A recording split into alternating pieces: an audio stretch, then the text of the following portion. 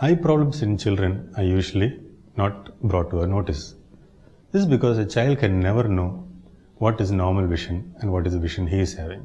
So, child will never be able to tell the parent whether he is having a visual problem or not.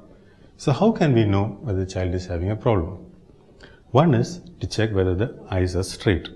This can be checked from birth itself. If there is a slight deviation, there is some problem regarding the vision.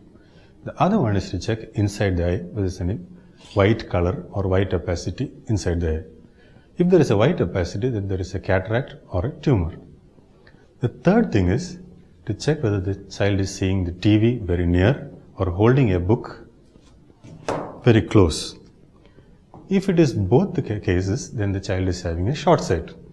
Even otherwise, when the child goes to school and he returns home with a notebook, some children mistake 7 for L, 5 for 6, B for D, and some children have a slanting handwriting.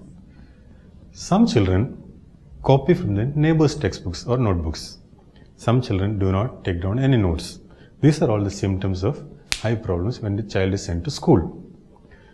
At home, a parent can see the distance where the child is holding the book. It is also important to see the color vision of the child, whether the child can differentiate green from red because a lot of children are born with color blindness. In all hospitals, there is enough equipment to check a children, ch- children's eyesight because even if a child does not read A, B, C, D, we can give simple pictures like house and make the child say what it is.